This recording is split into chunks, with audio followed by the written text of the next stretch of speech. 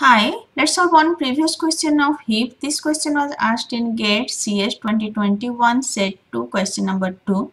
Let H be a binary min heap consisting of n elements implemented as an array. What is the worst case time complexity of an optimal algorithm to find the maximum element in H? And four options are given. In case of min heap, root contain the minimum element whereas in case of max heap root contain the maximum element. So here it is asking in min heap what is the time complexity to find maximum element. So maximum element is present somewhere in the leaf. Now we need to find maximum element from the leaf.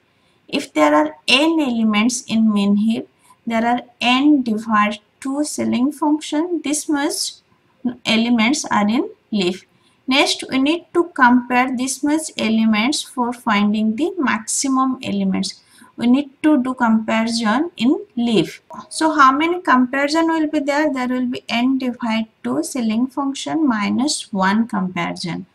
So, that we can write as theta of n. So first we'll find how many numbers of leaves are there and we'll find maximum elements from the leaf for that we need n divided to minus 1 comparison running time is theta of n. Answer is option C. So running time for finding maximum element in case of min heap and for finding minimum element in max heap is theta of n. Whereas for finding maximum element in case of max heap and for finding minimum elements in case of min heap is theta of 1. I already discussed this thing during lecture. Just go through lecture. You can easily solve this question. Also refer GATE 2020 question that is similar to it.